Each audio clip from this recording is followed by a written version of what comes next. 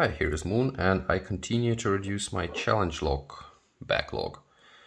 This time it's OPI Kenobi from Thumper, American challenge lock made in KIK cylinder. I find the name funny. OPI is German for granddad. So let's get this granddad into the vise and pick it. American style was the Bible up.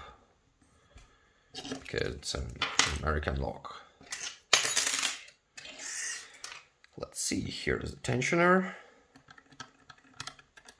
And I haven't unwrapped the key yet, but I did pick it already. And let's see. Just looking for binders. I think I had already one in the back. And now the something in the front, maybe number one. Some clicks on it, and a louder one. Let's call it picked. Let's see again in the back.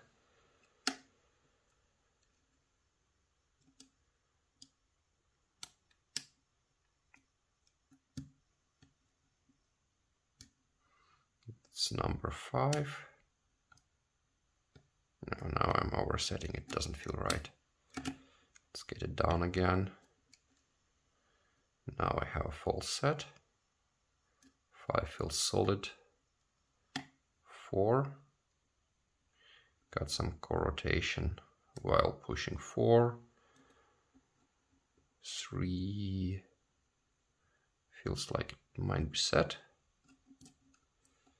Number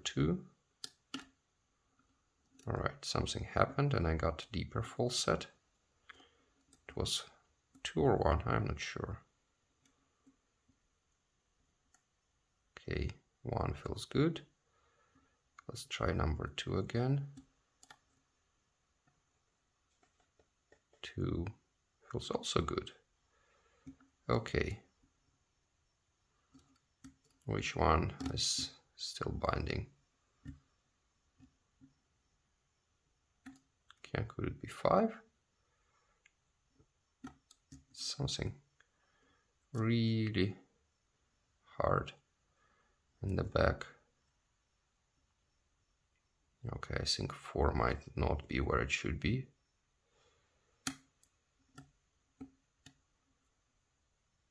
Okay, now it gives lots of counter rotation, but I dropped everything else, I think.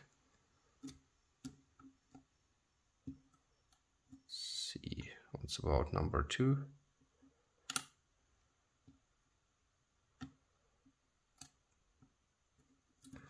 And we got an open. Yeah. Opa is down. OP. Let's see what it got inside. It was a fun pick. It was not too hard, not too easy, nice feedback and well, a change for me. I usually pick European style, not US style. Alright, what do we need to gut it? We need tweezers.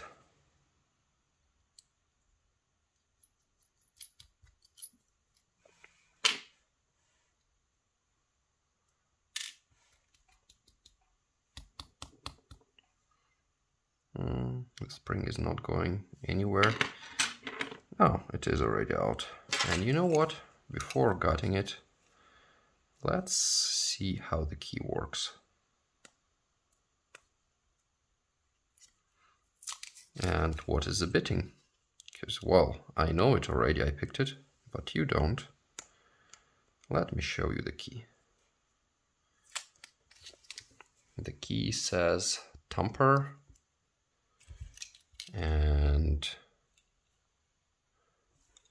is hand cut in part.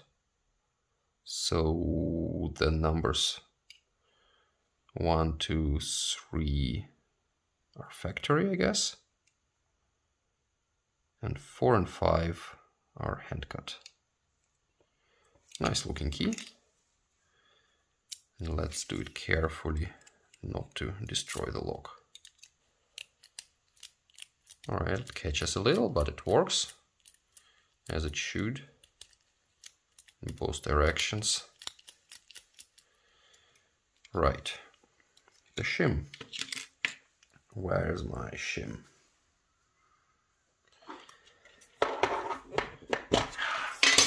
Not prepared this time. Because I just yesterday destroyed one getting this FAB padlock.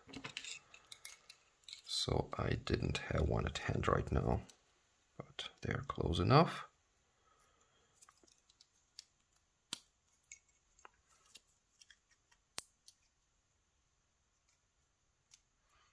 now it's in, and here's the follower.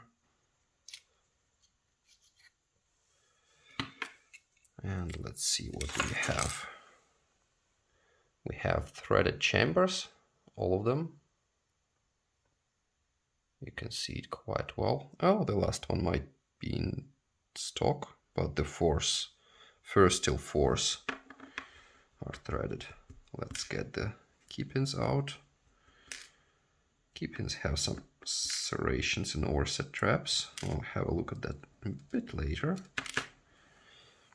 Another look at the threading here. Yeah, quite nice. And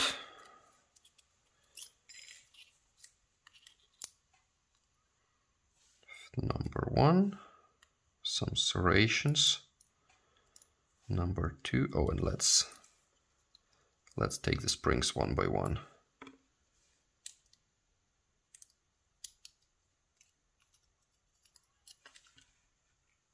Springs are different. Number three kind of tip in. Oops.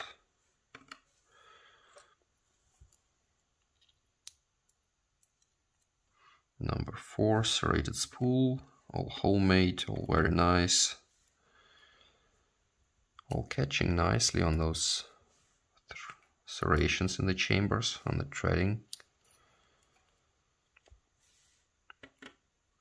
And something like a tapered. Could be felt, by the way, by just lightly tapping it, the full set just got deeper and deeper. Let's see. What do we have there? Chamber number two is threaded. And chamber number four is threaded as well. 1, 3 and 5 are stock. And yeah, I guess we just now only need to have a close-up on the pins. And yeah, they are very nice. Tapered in chamber 5, serrated spool in 4, tip in in 3, another serrated spool in deep 1 and 2, and serrated in one. Different springs and the pins with overset traps, especially on number four, whereas uh, three, I'm not sure. Actually, the threading is on two and four, but the key pins don't seem like this one is tapered to go easier in, but I don't think it will catch in the serration. But yeah, anyways, nice pick. Thank you, Thumper. Thank you for watching.